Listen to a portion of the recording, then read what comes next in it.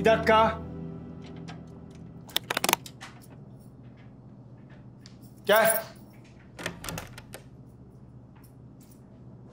Alp Bey. Mesajınızı şimdi gördüm. Beni çağırmışsınız. Evet. Odaya girerken seni kimse gördü mü? Yok kimse görmedi. Herkesin işi başından aşkın. Aslında benim de öyle. Şimdi ne var? Bu Ferhat gece gece bana böyle imalı imalı falan konuştu da. Bizim anlaşmamızdan haberi olmadığına emin misin? Yok. Bilmesi imkansız. Evlilik cüzdanını size teslim ettim zaten. Güvende değil mi? Güvende. Ben onu aldım kasaya koydum ama başka bir şey soruyorum ben sana şu anda. Yani tamam yakınsınız belli anladım onu da. Ne bileyim ağzından bir şey kaçmıştır, bir şey duymuştur. O yüzden dedim. Kimse bir şey bilmiyor merak etmeyin. Güzel. Sana güvenmekten başka çarem yok o zaman.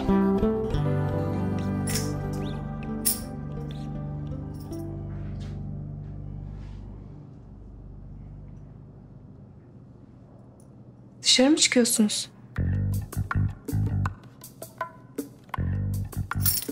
Evet.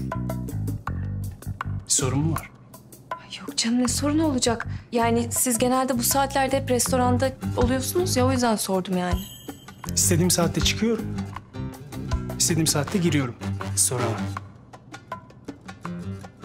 sana bir sır vereyim mi? Daha önce kimse bana böyle hesap sormamıştı.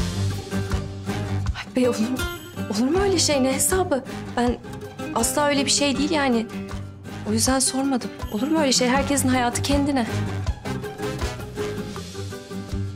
Güzel.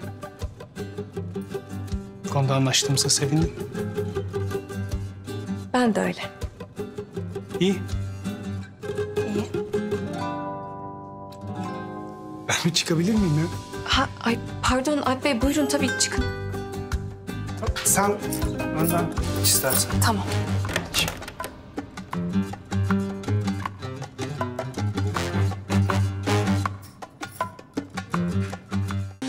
ATV YouTube kanalına abone olun, hiçbir şeyi kaçırmayın.